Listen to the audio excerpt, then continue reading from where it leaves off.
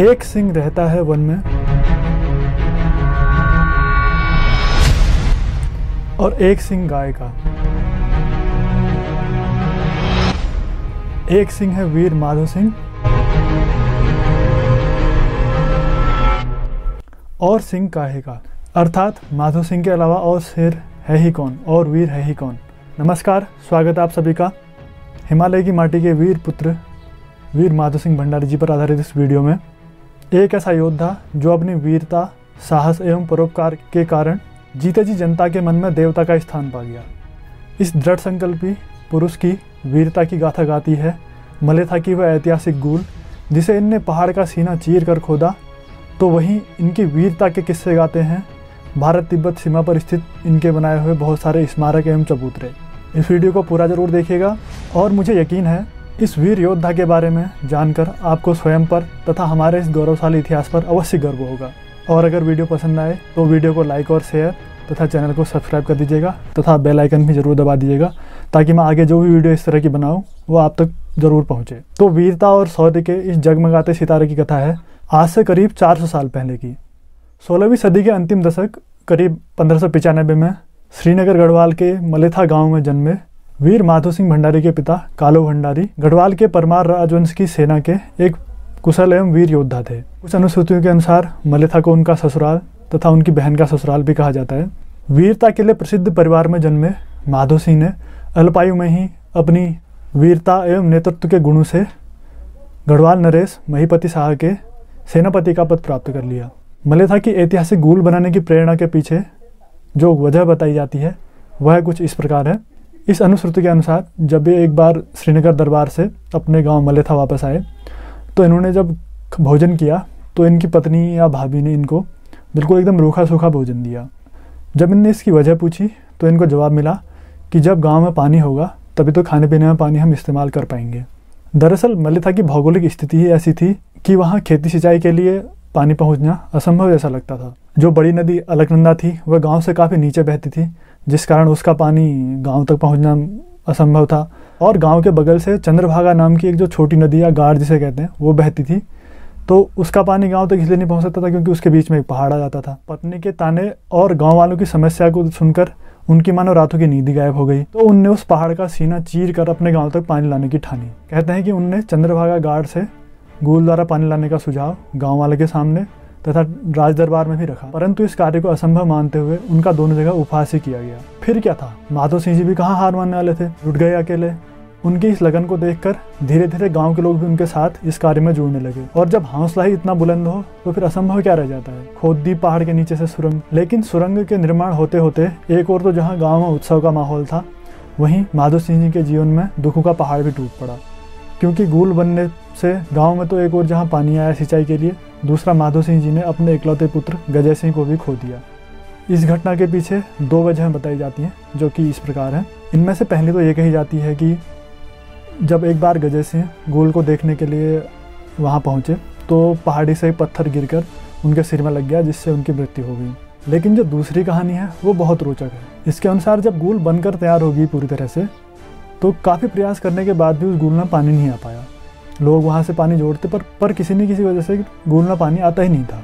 सब परेशान हो गए। तब कहा जाता है कि एक रात माधो सिंह जी को उनके स्वप्न में उनकी कुलदेवी ने दर्शन दिए और कहा कि अगर तू अपने पुत्र की बलि देगा तो इस गूल में पानी आ पाएगा। माधो सिंह जी तो ये सुनकर सोच में पड़ गए। साथ ही गाँव वालों को भी संशय आ गया। लेकिन जो उनका पुत्र था गजय सिंह, उसने गाँव वालों के दुख और अपने पिता के इस संशय को समझा तथा वो शहर से बदली देने के लिए स्वीकार हो गया। और कहते हैं कि जब गोल में उनकी बलि दी गई तो तुरंत उस सुरंग से फिर पानी आने आने लग गया। कहते हैं कि इस घटना के बाद माधो सिंह जी कभी मलेथा गाँव वापस नहीं आए, लेकिन उनके इस बलिदान की निशानी, वह गूल, अभी भी गाँव के लगभग 300 परिवारों के जीवन को हरा भरा रखे हुए है। हाँ अभी भी माधो सिंह तथा उनके पुत्र गजय सिंह को देवता रूप में पूजा जाता है, तथा उनके पवाड़े वीर गाथाएँ आदि गाई जाती हैं।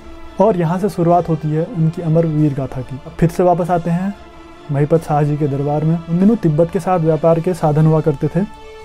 हिमालय के दुर्गम क्षेत्रों में स्थित दर्रे, यानी कि पहाड़ों के बीच के मार्ग, जिनमें अधिकार के लिए तिब्बत तथा भारत के राजाओं के बीच अक्सर संघर्ष हुआ करते थे। इन्हीं में से एक नीति दर्रे के पास स्थित दापागढ़ के गणपति द्वारा गढ़वाल साम्राज्य पर समय समय पर आक्रमण होते रहते थे। महाराज महिपत शाह के तीन प्रमुख सेनापति थे।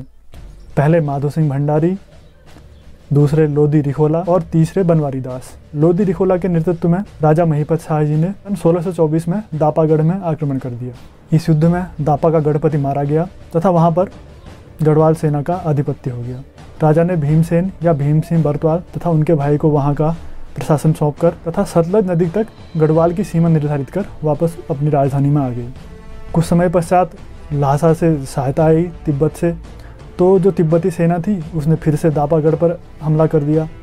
इस युद्ध में, क्योंकि गढ़वाल की सेना बहुत कम थी वहाँ तो तिब्बती सेना ने दापा दुर्ग को फिर से जीत लिया, तथा बरतवाल बंधुओं के साथ साथ लगभग पूरी गढ़वाल सेना को मार दिया। इस पर नेतृत्व संभाला वीर माधव सिंह ने। दुर्गम हिमालय की विषम परिस्थिति में भी उनकी सेना ने तिब्बतियों के छक्के छोड़ा दिए, क्योंकि बरतवाल बंधु तथा सेना की निर्मम हत्या की वजह से प्रतिशोध की भावना में भड़क रही गढ़वाल सेना दुगने जोश के साथ लड़ रही थी।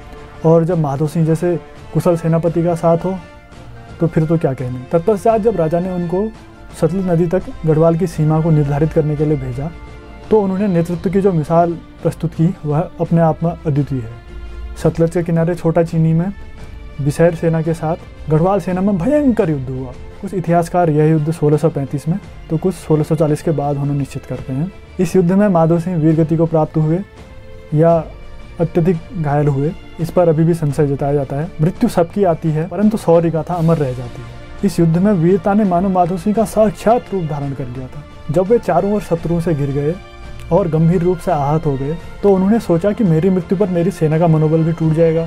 तुरंत अपने अंगरक्षकों को आदेश दिया, मुझे हल्का आग में भूनकर और पालती की मुद्रा में, मुझे मेरी पालकी में बैठा दो और मुझे देखकर मेरी सेना का मनोबल नहीं टूटेगा, तथा वो लड़ते रहेंगे। बोझिल मन से अंगरक्षकों ने अपने नेता अपने सेनापति की आज्ञा का पालन किया तथा उनको हल्का सा आग में, गर्म जैसा करके पालती की मुद्रा में, पालकी में बैठा दिया गया। उनको इस अवस्था में देखकर गढ़वाल सेना का जोश और बढ़ गया और वो अदिति शौर्य के साथ लड़े। इस प्रकार माधव सिंह ने नेतृत्व की मिसाल प्रस्तुत की तथा अपनी इस वीरता के कारण हमेशा के लिए अमर हो गए। कहा जाता है कि वहाँ से उनके उस भुने हुए शरीर को ही लाकर वापस यहाँ फिर उनका अंतिम संस्कार किया गया।